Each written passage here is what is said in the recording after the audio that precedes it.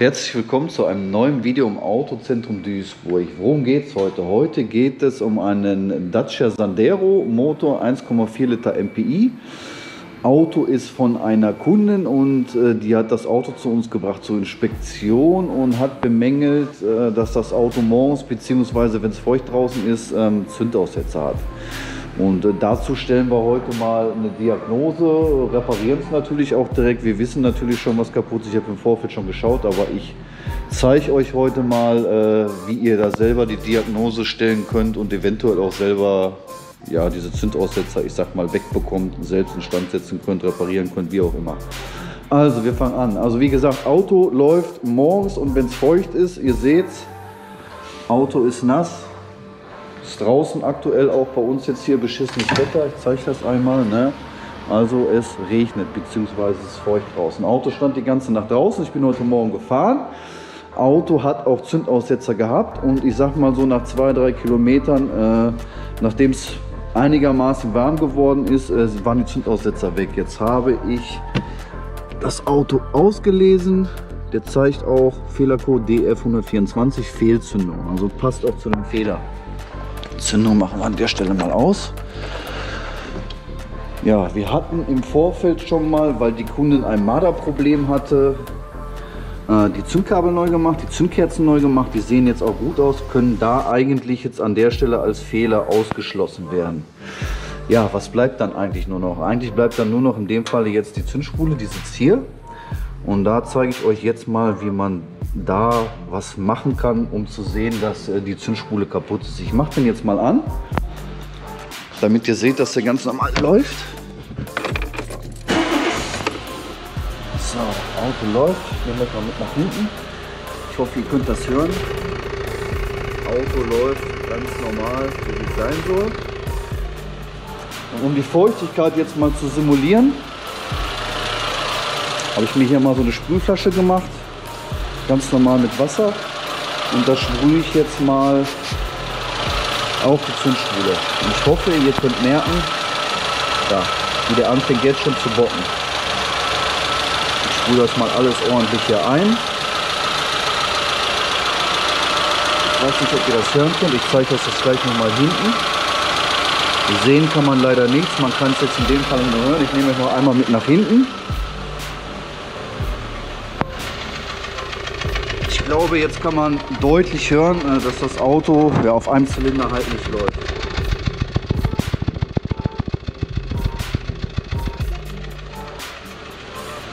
So, wir machen den jetzt mal wieder aus oder ich laufe noch mal nach vorne mit euch. Also für mich ganz klar ähm, die Zündspule, weil sobald man Wasser auf die Zündspule sprüht, ja, fängt das Auto an auf drei Zylindern zu laufen. Und dann zeigen wir euch jetzt mal, wie wir die Zündpole hier wechseln. So machen wir den Stecker hier ab.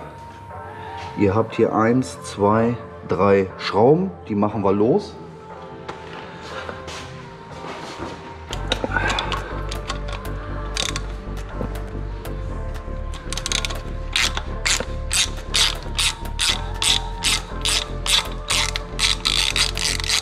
Der Kollege schraubt die Schrauben jetzt mal eben ab. Mache so lange mal ein bisschen Eigenwerbung. Wir haben im Moment im Angebot bei uns noch hier oben den Dacia stehen. Ich nehme euch mal kurz mit. In Rot mit dem 1.2er Motor, also ein anderer Motor als wieder unten drin ist. In den Dacia, in diesen Sanderos gab es den 1.2er Motor, diesen hier. Dann gab es den 1.4er MPI, den wir da unten drin haben. Und es gab noch den 1.6er MPI und 1,5 Liter Diesel.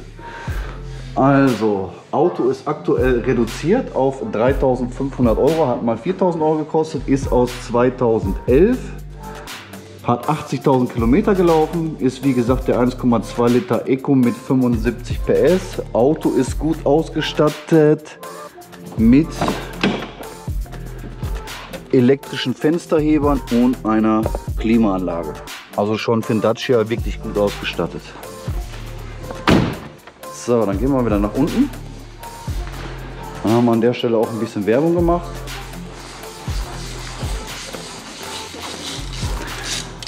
Schraubt noch. Ich hole mit euch schon mal die neue Zündspule. Wichtig auch da natürlich, äh, keinen Müll einbauen. aus eBay, Amazon etc. Wir nehmen hier jetzt hier eine Zeige euch mal die Nummer, verlinke ich euch auch. Wie gesagt, die sollte passen auf einen 1,4er MPI, 1,6er MPI. Ziehen wir Aufkleber drauf. So, Schrauben haben wir jetzt hier rausgemacht. Eins, zwei, drei. Eine fehlt immer, nicht wundern. Dann kann man die hier so toll wegnehmen. Dann nehmen wir jetzt die neue, stecken die Kabel um. Ähm, Zündreihenfolge braucht ihr eigentlich nicht beachten. Hier ist das erste Zündkabel, zweite, dritter Zylinder, vierter Zylinder.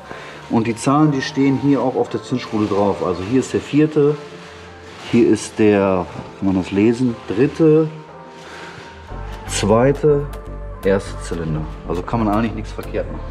Zeige ich mal bitte die neue. Ich zeige euch mal, wie das aussieht. Das ist von unten. Und haben wir hier auch die Zünd. Ich habe nichts gesehen. Nee. Doch, hier steht's. Zeige ich euch auch. Da steht es genau äh, hier zwischen. Hier ist der erste Zylinder links. Das ist der vierte. Ich hoffe, ihr könnt das sehen. Und hier oben ist 2 und 3. Also könnt ihr eigentlich nichts verkehrt machen. Wir machen das jetzt eigentlich immer so. Wir legen uns die Spule hin, wie wir die alte ausgebaut haben. Äh, machen die Kabel von der alten Zündspule ab, stecken die auf die neue Zündspule festschrauben, Stecker drauf, fertig. Ist, wenn man flott ist, ja, brauchst du noch nicht mal fünf Minuten.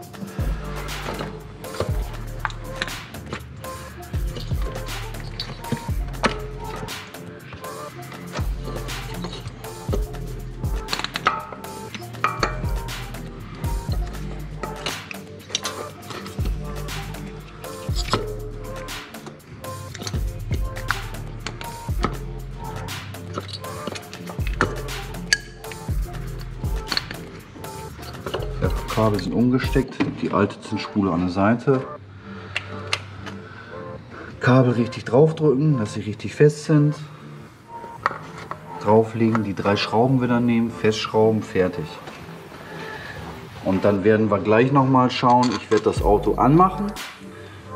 Ich hoffe mal, oder ich gehe mal sehr stark davon aus, dass der dann vernünftig laufen wird. Und dann werden wir noch mal die Wasserflasche nehmen und die neue Spule absprühen. Und wenn das Auto dann keine Zündaussätze mehr hat, ist es definitiv die Zündspule gewesen. Weil wie gesagt, aufgrund von Madern äh, haben wir Zünd, äh, Kabel und äh, Zündkerzen jetzt nicht. Zündkerzen ist jetzt nicht unbedingt ein Marderproblem, aber halt die Kabel sind hier bei diesen Dacias wirklich beliebt bei Madern. Also haben wir schon sehr oft. Haben wir eigentlich immer so eine Saison. Wann ist das? Ist das so Herbst? Ja, Ja. Herbst kann man sagen. Wo wir viele Kunden haben, die Autos äh, noch mit Zündkabeln haben, gibt es ja heute auch nicht mehr so viele. Alle neuen Autos haben heute eine Zündspule direkt auf dem Zylinder, haben überhaupt gar keine Zündkabel mehr. Ähm, ja, ist bei den Autos noch so ein Problem. Aber ist auch alles bei so einem Auto hier bezahlbar. Also kostet kein Geld. Die Zündspule kostet kein Geld. Ähm, Zündspule kostet, glaube ich, kostet die Zündspule für den Endkunden, ich sag mal irgendwas zwischen 50 und 100 Euro. Ein Kabelsatz hier wird 20, 30 Euro kosten, also ist echt günstig hier. Stecker wieder drauf. Ja, den Stecker wieder drauf, genau. Der rastet hier ein. Zeige ich euch nochmal mit so einer Nase, wie der hier abgeht. Hier ist so eine Nase dran. Kann man abmachen, dran machen, passiert nichts. So, jetzt gehe ich rein, mache das Auto wieder an. weiß nicht, wieso der abgeschlossen ist. Schlimm. Schlüssel steckt. Falls ihr so ein Dacia übrigens mal selber auslesen wollt oder Gerät habt und ihr sucht diesen OBD2-Anschluss, der ist hinten im Handschuhfach. Ne, also nicht vorne links hier irgendwo im Fußraum wie bei den meisten Autos, ist bei dem im Handschuhfach. So. Auto läuft. Auf allen vier Zylindern ohne Zündaussetzer. Jetzt nehmen wir noch mal die Wasserflasche. Sprühen die ganze Geschichte ab. Das sprüht ja schon fleißig. Machen die mal richtig nass.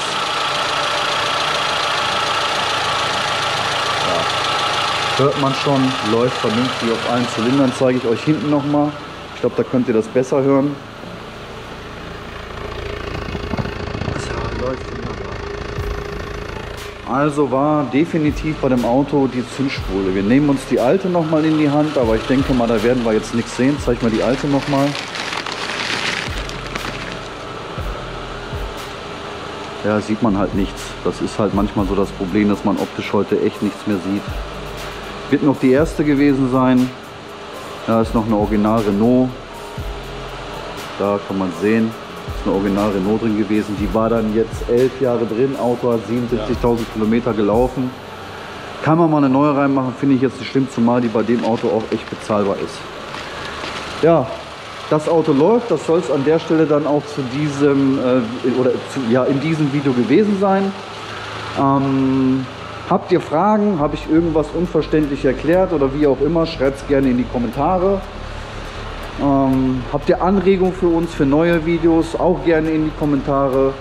Äh, ansonsten war es das gewesen. Ich verabschiede mich jetzt hiermit. Ich bin raus. Ciao.